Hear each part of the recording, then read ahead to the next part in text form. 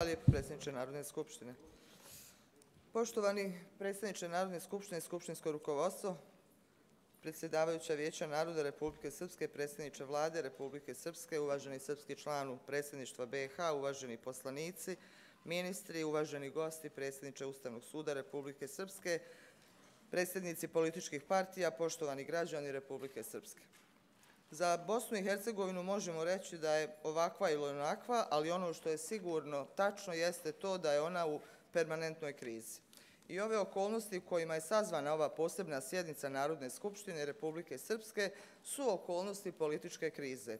Taman kad nam se učinilo da ima kraja političkoj blokadi namjerno izazvanoj od strane SDA, koja je 14 mjeseci nakon izbora sprečavala formiranje vlasti na nivou BH u okviru u skladu sa izbornom voljom građana Republike Srpske, ali i građana Federacije BH, došla je nova kriza izazvana odlukom Ustavnog suda BH koji se odnosi na poljoprivredno zemljište u Republike Srpskoj. Kad sam o ovom odugovlačenju formiranja vlasti, što je naravno bila redovna tema, razgovarala sa stranim predstavnicima, većina njih je iskreno rečeno navijala, za uspostavljanje vlasti, jer bi to svakako značilo kako tako kretanje na evropskom putu ili barim neki, iako tanak i mršav kredibilitet države, ali bilo je, i dužna sam da to kažem, i onih koji su govorili da su važnija neka druga pitanja od formiranja vlasti, pa čak i to da je politički sasvim legitimno ne formirati vlast uopšte. Ja prihvatam da demokratija raspolaže različitim alatima i sami biramo koje ćemo koristiti. Sad, kad su srpski predstavnici odlučili da na nivou BH ne učestvuju u odlučivanju ili da spriječe propustnost odluka, onda kad iz proceduralnih razloga moraju odlučivati, jer bi to umjesto njih učinio neko drugi, očekujemo od istih tih stranih predstavnika da kažu da je i to politički legitimno, da je i to jedan od demokratskih alata, pošto to i jeste tako. I očekujem naravno da ni sad ne iznose bilo kakvu kritiku ili nisu kritikovali ni druge ranije. O tome zašto je BiH ovakva, zarubljena, neinventivna, nekreativna, nesposobna da gleda lijevo, desno, naprijed, nazad, u nastojanju da obezbijedi priliku i da uradi nešto dobro za svoje građane ili za građane dva entiteta, zašto je nesposobna da osim histerično komunicira sa svojim susjedima, zašto ima potrebu da glumi neku veoma važnu državu, a nije u stanju da riješi bilo šta u korist građana, dalo bi se što šta reći. Najkraće rečeno, ona nikad nije ni dobila pravu šansu da živi život normalne države, a razloga za to je mnogo. Osuđujem se reći da je mogla postati koliko toliko uspješno društvo, ali nije. Današnja realnost je takva da su Srbi isfrustirani stalnim nastojanjem da se ukine njihov identitet i da se u kontinuitetu nasilno umanjuje ustavni kapacitet Republike Srpske. Hrvati su isfrustirani činjenicom da ne mogu obezbijediti svoje predstavljanje u skladu sa ustavnim principom zaštite kolektivnih prava, jer su u nekoliko navrata bošnjaci izabrali hrvatskog člana predsjedništva BiH. Opet bošnjaci su nezadovoljni jer BiH nije cijela njihova, možda im je obećana, ali je nisu dobili očito. Istina je da su im mnogi pomagali da je nakladno dobiju jer se odlukama visokih predstavnika ranije, a kasnije odlukama Ustavnog suda BiH, nastojala od BiH napraviti država koja bi po formi bila građansko društvo, a po svojoj suštini bila bi po mjeri bošnjaka. Nedavno usvojena deklaracija SDA upravo o tome govori. Reakcije stranog faktora bile su zapanjujuće blage i mlake, a trebalo im je čak nekoliko dana da sroče bilo kakvu reakciju, odmiravajući pažljivo riječi da ne bi slučajno bile jednako oštre kao one koje po pravilu upućuju na račun političkih partija ili institucija Republike Srpske.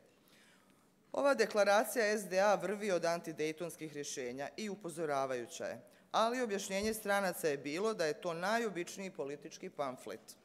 Ja sam prihvatila da je to tako, ali ne mogu da ih ne upitam zašto im onda deklaracije partija iz Republike Srpske nisu obični politički pamflet, već na osnovu njih predizvimaju mjere, a onda je na osnovu tih pamfleta sankcionišu političare.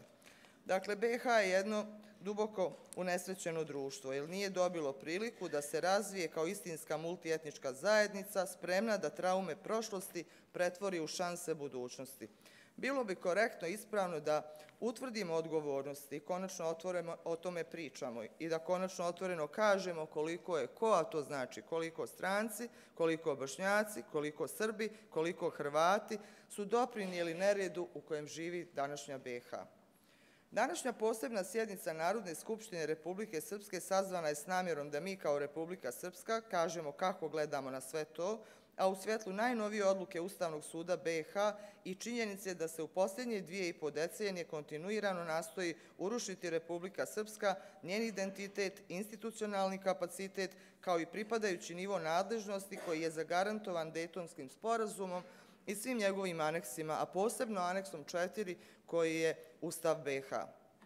Treba se podsjetiti da je u novembru 2019. godine Narodna skupština razmatrala informaciju o neustavnoj transformaciji dejtonske strukture BiH i uticaju na položaj i prava Republike Srpske u BiH. Na osnovu skupštinskih zaključaka Vlada Republike Srpske izradila je akcioni plan za zaštitu ustavnih nadležnosti Republike Srpske uz analizu načina prenosa nadležnosti sa Republike Srpske na nivo BiH, utvrdila mjere za sprečavanje daljeg prenosa nadležnosti kao i mjere za vraćanje onih ingerencija koje su od Dejtona do danas na različite načine prenesene na nivo BiH. Dakle, u fokusu rasprave tog skupštinskog zasjedanja bila su nelegalna urušavanja Dejtonskog sporazuma i Ustava BiH, te položaj Republike Srpske i srpskog naroda u okviru antidejtonski transformisane BiH. Jasno je da ove antidejtonske operacije nisu BiH učinile uspješnijom državom, već naprotiv dovele su je u sasvim suprotno stanje. Poslednju odluku Ustavnog suda kojom se osporava član 53 Zakona o poljoprijednom zemljištu Republike Srpske vidimo kao sastavni dio procesa derogiranja postojećeg ustavno-pravnog poredka te urušavanja dejtonskih temelja na kojima počiva BiH. Šteta koju ovakvi potezi nanose Republici Srpskoj, a samim tim i funkcionisanju BiH ogromna je. I zbog toga smatramo da je potrebno podhitno zaustaviti proces antiustavnog djelovanja pojedinih institucija na nivou BiH i vratiti se Ustavu i ustavnim rješenjima. Ova odluka još nije objavljena ali je već dovoljno alarmantno što prema saopštenju suda određuje da se u regulisanju pitanja državne imovine radi o isključivoj nadležnosti BH. To znači da su sudije Ustavnog suda BH zanemarile činjenicu da su u članu 3 Ustava BH, kojeg su dužni da štite eksplicitno nabrojanje nadležnosti zajedničkih institucija na nivou BH i da se nijedan od njih ni približno ne odnosi na državnu imovinu. U istom članu Ustava jasno je navedeno i to da entitetima pripadaju sve funkcije i ovlašenja koja ovim Ustavom nisu izričito data institucijama BiH. Nasuprot ovim očito namjernim previdima Ustavnog suda stoji jasna ustavno-pravna činjenica da je Dejtonski mirovni sporazum uspostavljen teritorijalni princip koji je imovinu pripisao onom subjektu na čijoj se teritoriji nalaze, dakle entitetima. Također podsjetit ću da je amandmanom 32 na Ustav Republike Srpske iz 1998. godine, kojim je mijenjan član 68 Ustava Srpske, regulisano da Republika Srpska između ostalog uređuje imovinske i obligacione odnose te vrši zaštitu svih oblika imovine, budući da je upravo Ustavni sud BH ranije utvrdio da je ova odredba Ustava Republike Srpske u skladu sa Ustavom BH, a da isto to potvrdila i Venecijanska komisija u svom mišljenju, nameće se zaključak da Ustavni sud BH posljednjom odlukom nije prekršio samo Ustav i pravni poredak u BH, već i svoju prethodnu odluku.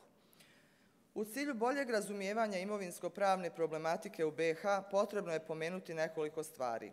Najprije to da je 2001. godine u Beču zaključen međunarodni sporazum o pitanju sukcesije o raspodjeli imovine bivše SFRJ, koji je potom i ratifikovan u svim zemljama potpisnicama, kao i da su do marta 2005. godine ovom imovinom u BiH nesmetano upravljali i raspolagali nadležni organi Republike Srpske, ali i Federacije BiH, kad je riječ u Republici Srpskoj, na osnovu već pomenutog člana 68 Ustava Republike Srpske, kojim je propisano da Srpska uređuje i obezbjeđuje svojinsko-pravne odnose i vrši zaštitu svojih oblika svojine. Svih oblika, pardon, svojine. U martu 2005. godine visoki predstavnik je nametnuo tri zakona o privremenoj zabrani raspolaganja državnom imovinom, koji se odnosi na BiH, Federacije BiH i Republike Srpske, definišujući kad je u pitanju Republika Srpska, slično na drugim mjestima, da je to nepokretna imovina koja pripada BiH na osnovu Međunarodnog sporazuma o sukcesiji, kao i nepokretna imovina na kojoj je pravo raspolaganja imala e, SRBH do 31.12.1991. godine, a koja se smatra vlasništvom ili posjedom bilo kojeg nivoa vlasti ili javne organizacije u Republici Srpskoj.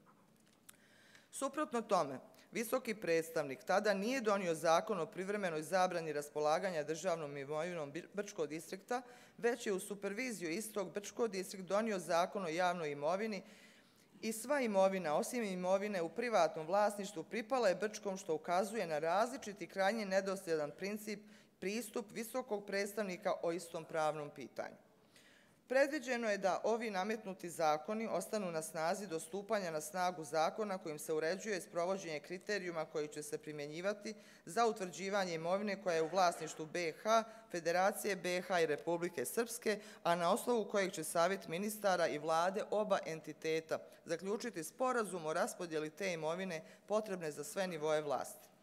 U tom cilju savjet ministara je već 2004. godine formirao Komisiju za državnu imovinu, utvrđivanje i raspodjelu državne imovine, određivanje prava i obaveza BH entiteta i Brčko distrikta e, BH u upravljanju državnom imovinom. Ali s obzirom da komisija u prvih pet godina svog postojanja nije uspjela usaglasiti tekst zakona, pa on tako nije ni upućen savjetu ministara, Narodna skupština Republike Srpske je usvojila zakon o statusu državne imovine koja se nalazi na teritoriji Republike Srpske, a pod zabranom je raspolaganja, ali je visoki predstavnik nalogom od 5. januara 2011. godine obustavio primjenu ovog zakona do stupanja na snagu odluke Ustavnog suda o navedenom zakonu. Po zahtjevu Sulejmana Tihića za ocjenu ustavnosti ovog zakona, Ustavni sud je utvrdio da Republika Srpska nema ustavnu nadležnost da reguliše pravnu materiju koja je predmet statusa državne imovine koja se nalazi na teritoriji Republike Srpske i pod zabranom je raspolaganja. Ali tom prilikom nije odlučio ko je vlasnik te imovine. Dakle, Ustavni sud nije eksplicitno rekao da Republika Srpska nije vlasnik imovine, ali joj je zabranio da njome upravlja što navodi na zaključak da Ustavni sud ima namjeru da imovinu Republike Srpske proglasi imovinom BH. U obrazloženju ove odluke Ustavni sud između ostalog navodi da je i visoki i visoki predstavnik konstatovao da Ustav BH ne sadrži izričite odredbe o tome kako državna imovina mora da bude podijeljena između različitih nivoa vlasti, što je u svom mišljenju potvrdila i Venecijanska komisija. S druge strane, Parlamentarna skupština BiH nikada nije donijela ni jedan propis iz oblasti imovinsko-pravnih odnosa. Svi propisi iz te oblasti po principu podjele nadležnosti utvrđene Ustavom BiH u isključivoj su nadležnosti entiteta, a primjer su zakon o stvarnim pravima, zakon o premjeru i katastru i drugi propisi iz ove oblasti. Imajući to u vidu, postavlja se pitanje kako je sud mogao donijeti odluku bez materijalnog propisa. Također, ova odluka je sasvim suprotna odluci istog tog suda po apelaciji, e, doneseno je po apelaciji Alije Izetbegovića, dakle 90 u povlaka 5 kroz 98 je broj ove odluke, kojom je meritorno odlučeno da su Republika Srpska, a to znači entiteti, isključivo nadležni po principu podjele vlasti da regulišu imovinsko-pravne odnose u skladu, i to je kod nas rađeno, u skladu sa članom 68 stav 6 Ustava Republike Srpske. Jasno je da je Ustavni sud BiH u dva potpuno ista slučaja odlučio drugačije jer je prvo potvrdio pravo vlasništva, zem, eh, vlasništva Republike Srpskoj, a onda je to pravo ograničio. Čim postoji namjera da se jedno pravo ograniči, postoji namjera da se to pravo oduzme. U pogledu pozivanja na pravni kontinuitet, treba posjetiti da je aneks 4 Dejtonskog sporazuma koji je Ustav BH u članu 1 preimenovao raniju Republiku BH u Bosnu i Hercegovinu, što je njeno novo zvanično ime, bez bilo kakve odrednice, te regulisao da će ona nastaviti svoje pravno postojanje po međunarodnom pravu i u okviru priznatih granica, ali sa sasvim novom unutrašnjom strukturom u skladu sa novim odredbama, a to znači odredbama Dejtonskog ustava. To jasno upućuje da nema unutrašnjeg pravnog kontinuiteta, jer je BiH dobila sasvim novu unutrašnju strukturu. Ta unutrašnja struktura je regulisana tako da su nadležnosti BiH taksativno nabrojane, dok su sve druge koje nisu izričito dodijeljene institucijama BiH određene da pripadaju entitetima. Pitanje regulisanja imovine nije dodijeljeno institucijama BiH, što znači da to pravo pripada isključivo entitetima, te je regulisano članom 68 stav 1 tačka 6 Ustava Republike Srpske. A kako je visoki predstavnik 2005. godine donio tri zakona o zabrani raspolaganja imovinom, on je grubo prekršio Dejtonski sporazum, odnosno ustavno načelo da su entiteti vlasnici teritorija i da na osnovu ustavne nadležnosti imaju pravo da regulišu imovinsko-pravne odnose i raspolažu imovinom. Također i same odluke istog Ustavnog suda BH, kojima se jednom potvrđuje ovo pravo, a drugi put se to isto pravo ograničava, potvrđuju kršenje Ustava od strane onog ko bi trebalo da bude njegov zaštitnik, ali i dovodi građane i institucije u stanje pravne nesigurnosti. Kredibilitet Ustavnog suda BH je evidentno urušen usljed nedosljednosti i kontradiktornih odluka, te zbog činjenice da je sebi nelegalno prisvajao ulogu ustavotvorca umjesto tumača Ustava i zaštitnika ustavnosti, ali i priznanje jednog od bivših sudija da su prije donošenja odluka morali da se konsultuju sa visokim predstavnikom. Da bi nam uskratili pravo da govorimo ovim nedopustivim devijacijama. Obično nam kao argument navode da su Ustavni sud BH i visoki predstavnik Dejtonske kategorije. Tačno. Ali to da je Ustavni sud BH Dejtonska kategorija ne daje mu pravo, baš kao ni visokom predstavniku koji je također Dejtonska kategorija, da krši Dejtonski sporazum i Dejtonski ustav, a oni su to činili. Građani onda mogu s pravom postaviti pitanje zašto bi neko uopšte bio dužan da poštuje odluke takvog suda. Potpuno je jasno da je Ustavni sud BH, osporavajući član 53 zakona o poljoprivrednom zemljištu Republike Srpske, a imajući na umu sve ovo navedeno o različitim odlukama, postupanjima, dodatno usložnio situaciju u pogledu imovine i onako komplikovane odnose u BH. Odluka prema kojoj bi poljoprivredno zemljište bilo izuzeto iz vlasničke strukture Republike Srpske je neprovodiva. Čuli smo izjave bošnjačkih političkih prvaka i funkcionera o obaveznosti sprovođenja odluka Ustavnog suda BH. Ovo je prilično licemjerno reći ću, znajući da je u Federaciji BH ostalo na desetine neprovedenih ili tek dijelimično provedenih odluka Ustavnog suda na federalnom i na kantonalnom nivou. S druge strane, često od istih tih političara slušamo kako Dejtonski sporazum nije švedski sto, odakle svako uzima ono što hoće.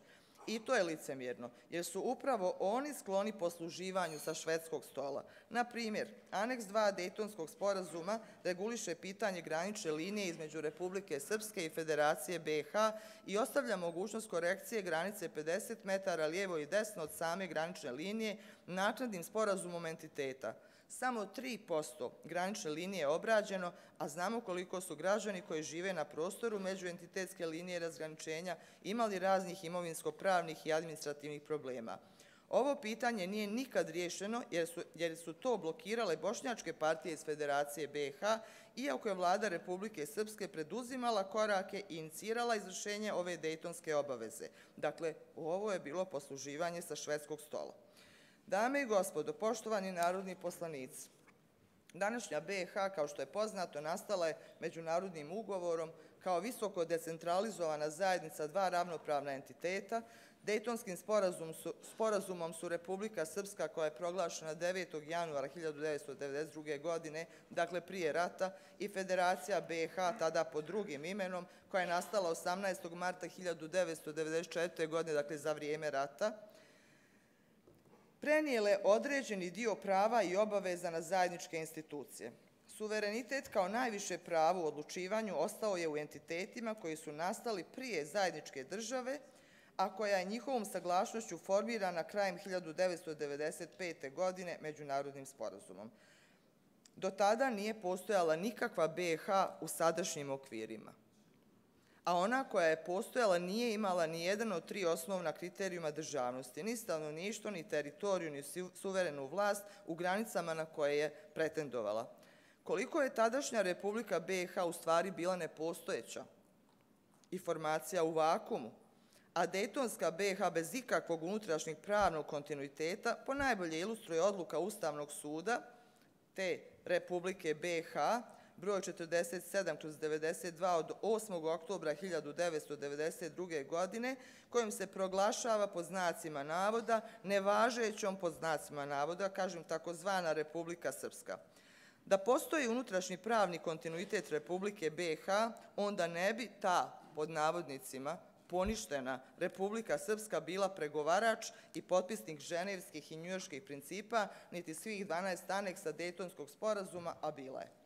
Dakle, današnja BH formirana je zahvaljujući tome što je Dejtonski sporazum uspostavljena potpuno nova unutrašnja struktura zajedničke države, način izbora, donošenja odluka te funkcionisanja organa u skladu sa ženevskim i njujorškim principima iz 1995.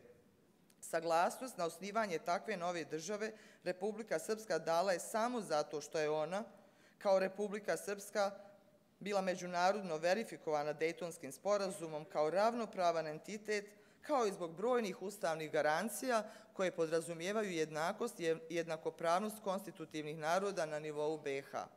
Da su predstavnici Republike Srpske u Dejtonu znali da će odmah nakon potpisivanja sporazuma odpočeti proces njegove revizije i neustavnog razlašćivanja Republike Srpske, sasvim je sigurno da sporazum nikada ne bi bio ni potpisan, a što znači da ni zajednička država nikada ne bi bila ni formirana.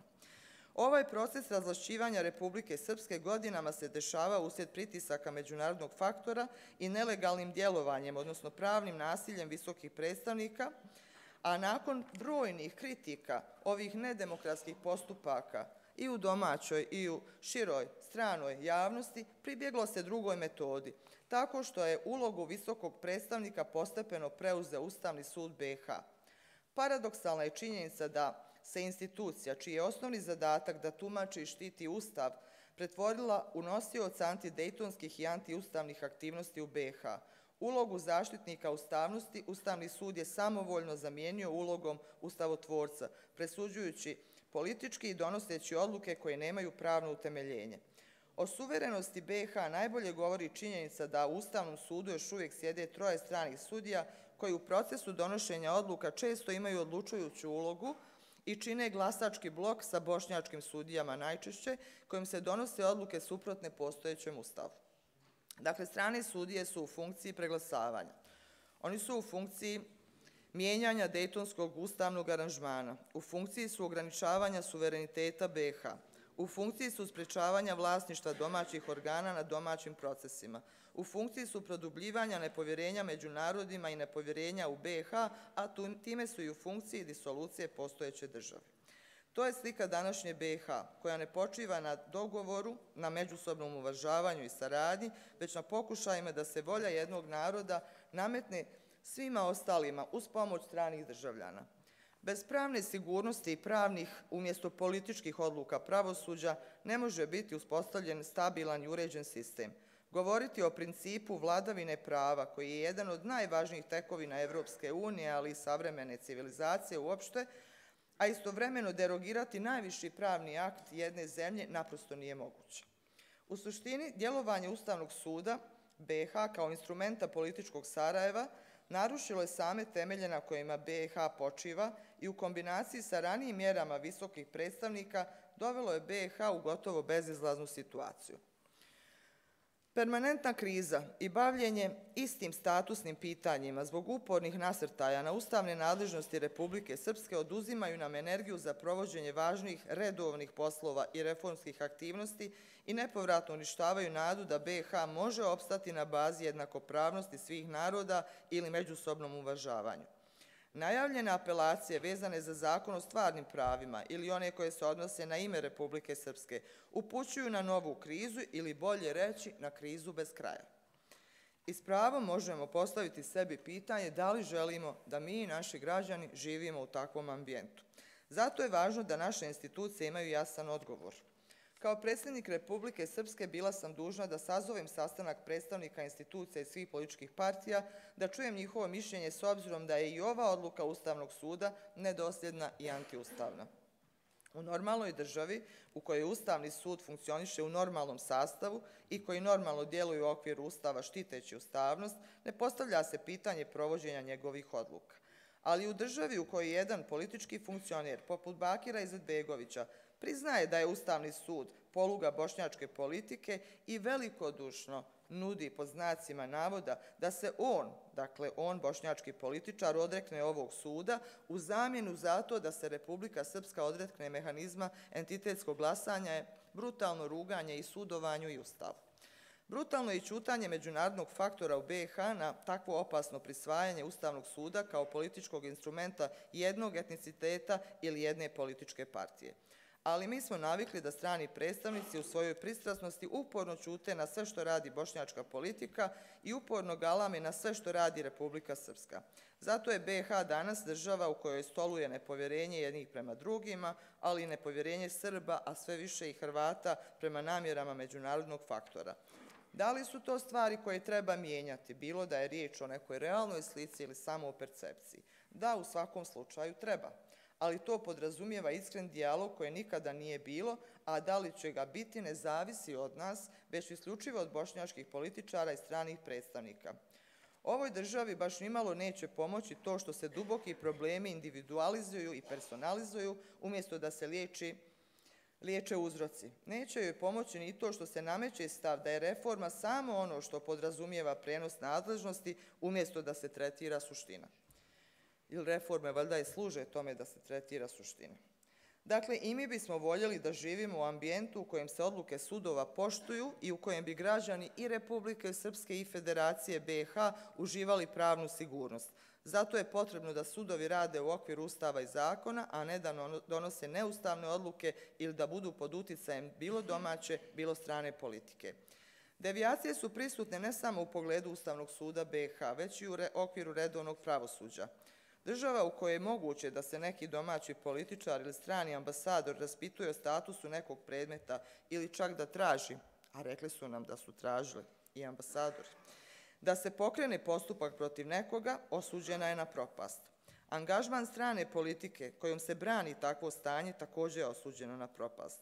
Država u kojoj se za ista dijela ratnog zločina pripadnicima jednog naroda sudilo po blažem zakonu iz SFRJ, koji je i bio na snaždi u vrijeme počinjenja dijela, a pripadnicima drugog naroda po drugom, strožijem i donesenom godinama nakon završetka rata, dakle njegovom retroaktivnom primjenom, isto pokazuje ambis pravosuđa, ali i države. Kad sam o tome razgovarala sa međunarodnim predstavnicima mnogo puta, I nakon takve višegodišnje nakaradne prakse, oni su mi rekli, pa evo, to sad popravljamo. U redu. A šta je sa onima prema kojima je ta šteta retroaktivnom primjenom zakona učinjena, a vi, gospodo reformatori, tu štetu ne otklanjate? Dakle, takvo eksperimentalno i politički motivisano pravosuđe nanijelo je nemjerljivu štetu odnosima između naroda u BiH, ugledu međunarodnog faktora u BiH i kredibilnosti same BiH. Sjetimo se strukturalnog dijaloga za reformu pravosuđa, pokrenutog na inicijativu Evropske unije prije deset godina. Ona je obustavljena jer su tako željeli SDA i OHR koji ih podržava. Razlog za prvo degradaciju, a potom i potpuno obustavu ovog procesa, bila je ništa drugo do obična manipulacija. Namjera da se tobože u ime zaštite države u stvari zaštiti čitav korpus nepravnih rješenja nametnutih od strane visokih predstavnika koji su uspostavili pravosudni sistem mimo Ustava BH. Kad mi kažemo da je nešto neustavno, onda smo optuženi da smo rušitelji države. Kad kažemo da želimo to nepravno i neustavno da reformišemo da bi postalo pravno i ustavno, opet smo navodni rušitelji države jer to ne žele OHR i SDA. Kad kažemo da Evropska unija treba da bude hrabrija i da u ovoj državi insistira na onim rješenjima koja oni imaju u svojim državama, a ne da brane ono što je eksperimentalni hibrid, ili kad kažemo da želimo da se primjenjuje mehanizam koordinacije na kojem su i oni u EU insistirali, a bošnjačke partije uporno žele da to zaobiđu, onda nas optuže da smo protiv evropskih integracija. Lično mogu reći da sam za evropske integracije više od mnogih političara koji ponavljaju isprazne floskule po međunarodnim sećijama i ispraznim forumima, ali znam da zato treba zasukati rukave i provoditi teške, ali pravedne reforme, koje imaju jasan, a ne skriveni cilj. Nažalost, dosadašnje su služile više centralizaciji nego jačanju naših kapaciteta za izazove koje podrazumijeva članstvo u Evropskoj uniji. Funkcionalnost države se ne obezbjeđuje, ne obezbjeđuje, se obezbjeđuje pardon, političkom voljom, a ne nasilnim razlašćivanjem. Mi smo zainteresovani za mir, za stabilnost, za očuvanje nadležnosti i ustavnog kapaciteta Republike Srpske. To je u stvari okvir naše politike. BiH u kojoj je moguće istovremeno ostvariti interes svakog naroda, entiteta, ali i BiH za nas nije sporna. Sporna su otimanja nadležnosti koja se dešavaju pod plaštom navodnog pravljenja funkcionalnije države, a u suštini ona je zbog takvih intervencija u sve gorem stanju i sve bolesnija. Dakle, prostor za popravljanje ovakve atmosfere postoji ali nije teško pretpostaviti da će bošnjački političari ostati nespremni da tu šansu iskoriste sve dok znaju da se mogu osloniti na strance. Bilo da je riječ o OHR-u, koji se već odavno doživljava kao pravni odjel SDA, ili stranih sudija Ustavnom sudu BH, koji predstavljaju mašinu za preglasavanje u korist političkih ambicija SDA i pravljenja unitarne BH protiv koje su dva od tri konstitutivna naroda. Narodna skupština je srce demokratskog, političkog i institucionalnog života Republike Srpske i verujem da će ona u skladu sa svojim ustavnim nadležnostima zaštititi interes Republike Srpske. Hvala na pažnji. U skladu sa dogovorom, dakle,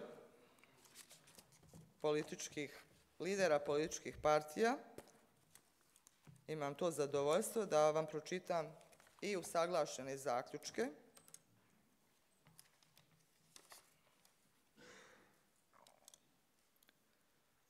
Oni glase, dakle, ovo su zaključci koji su usaglasili na sastanku koji je prethodio zasjedanju Narodne skupštine Milorad Dodik, SNSD, Mirko Šarović, SDS, Branislav Borenović, PDP, Nenad Nešić, DNS, Petar Đokić, SP, Nedeljko Čubrilović, Demos, Dragan Čavić, NDP, Nenad Stevandić, Ujedinjena Srpska.